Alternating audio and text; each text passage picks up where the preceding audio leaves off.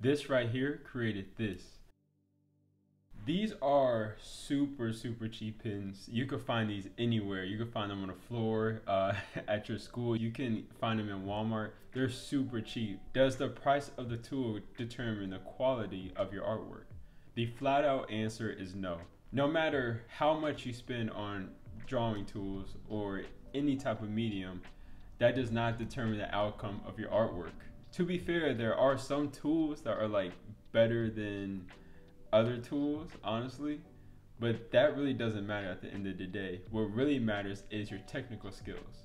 My hyper realistic portraits are just amazing to me. To you, maybe, maybe not, but when I show other people my artwork, they're just blown away and they can't believe I drew this. And then they can't believe it even more that I tell them I drew with ballpoint pen. Yes, this cheap thing right here. You probably heard before that this art material makes amazing portraits or amazing drawings. And this is something that I feel like all of us artists go through. We grow up, we hear this, uh, even with Copic markers. Copic markers can be pricey. I have a few of them that I haven't even touched yet, and I don't even plan on using them because I honestly don't need to draw with them. And that's just an example of some of the tools or drawing utensils you might have in your art box or wherever you keep them. You might not even need them, or they might not even suit your needs personally. So just because it's name brand like Copic markers, or even with these Bic pens, like you don't really need the name brands. I think if it works for you, it works for you. It just so happened that I started with these type of pens and then I mastered these pens. It's not that I need these to create amazing portraits. I encourage you to go out and try different mediums, try different tools, see what works best for you.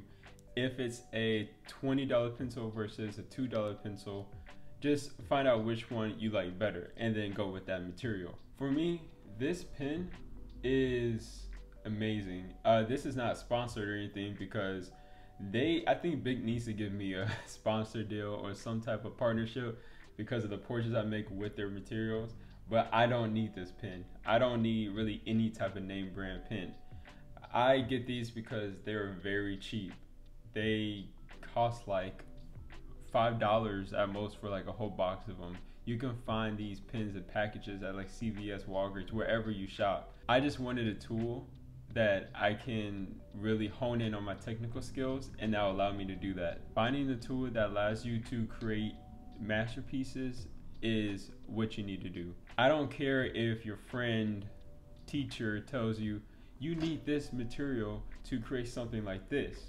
That's not true. Even with oil painting, you don't need the best of the best oil paints to create the best of the best oil paintings. I remember my first art class in college. We were given a list of art materials that we need for my painting class. So what did I do? I went over to the art store, I asked one of the workers if you can help me, you know, find these products for me.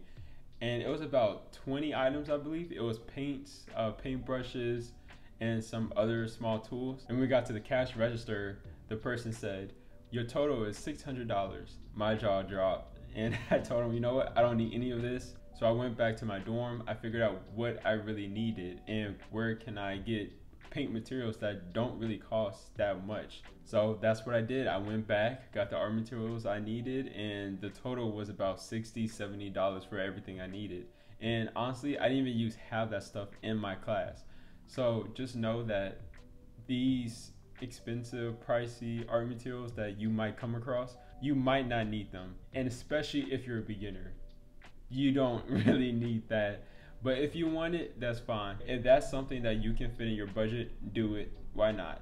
You know, if you feel like this is something you're gonna stick with, I just don't want you to go overboard or over your means just because of someone that said that this material can make this or you know these false claims about art tools i'll be honest with you when i first started using this pen right here i really wasn't the best at drawing especially portraits uh, my portraits weren't the best they weren't even decent in my opinion i just felt like i can always do better and i can always get better so i decided to start using different techniques especially the cross hatching technique but now more so hatching technique I will create a video going over hatching technique, you know, hatching 101 for beginners. But right now, it's just the repetition of lines right next to each other in one direction. And this has brought my portraits to another level when it comes to hyperrealism art. This technique can be super powerful, and not just with ballpoint pen. Like this, I use it in graphite. Uh, I use it in other materials like color pencil as well. And you know what? Speaking of the hatching technique in using straight lines, I was on YouTube the other day and I like to watch other artists in their, you know, drawing and process videos. And I saw this one artist use the hatching technique. He was saying you shouldn't make the line straight. I beg to differ. Like I use straight lines all the time and look at my portraits. I think you have to find what works best for you. If you want to make the lines curve, try that. It shows a lot of directional force. Will really give movement in your portrait or your drawings. But hatching technique can do the same as well. Try different mediums. I know it can be a headache just thinking about going to the store, buying a bunch of tools just to try them out, and you might not even like them or use them ever again.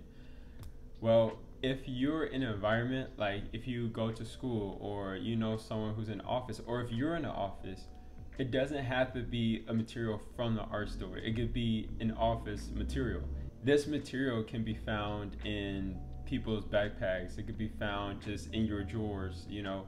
So try those mediums out. Uh, try different paper too. I love using watercolor paper for whatever I do.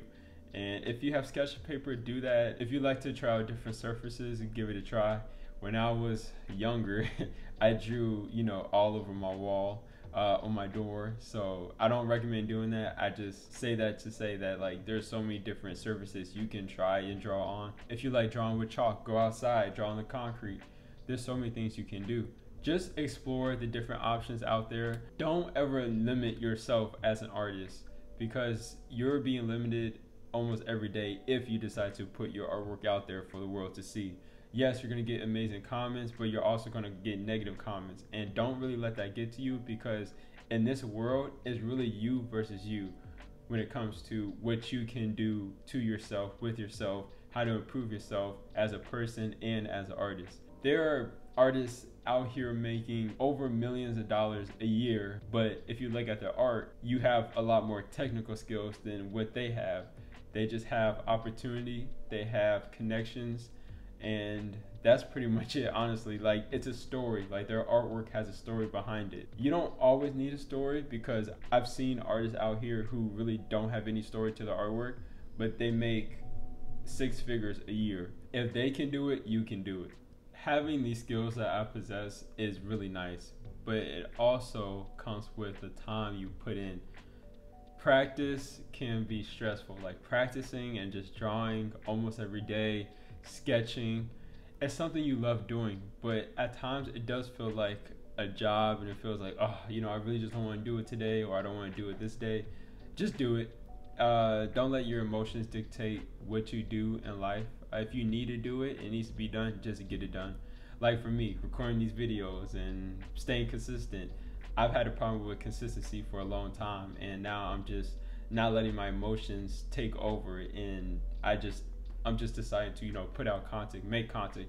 Even if it's not that great, I still want to put it out so I can just build confidence in myself.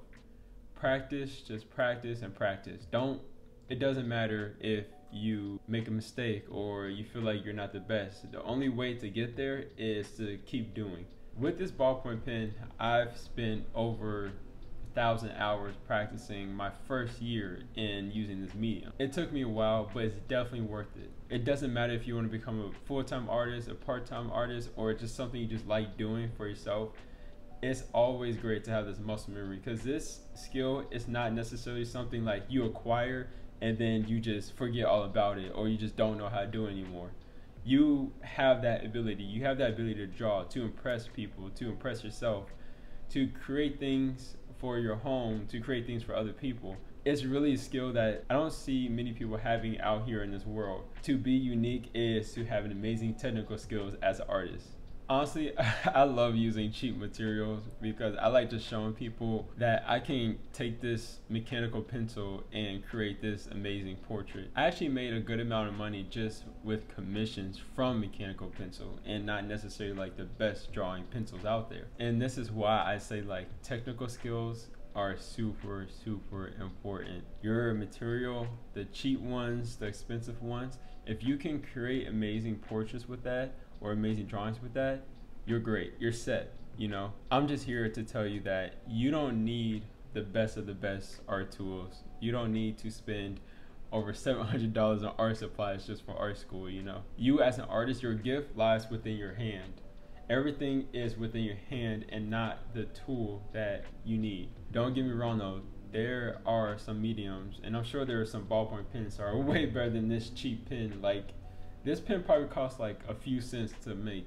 There are tools that can really improve your drawings, but for me, I'm cool with just using this ballpoint pen. I've used other pens, and I still will try out other pens, but I mean, look at what I can make now with just this thing right here.